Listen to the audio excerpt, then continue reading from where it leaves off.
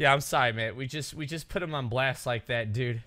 Yo, I actually I actually got a boner off the video the first time I saw it. Not even gonna lie, dude. I straight up got a freaking nice little, not nice little, but big. You know what I'm saying, dude? Pretty sure that was it. All right, man. Um, what was I gonna do, dude? I.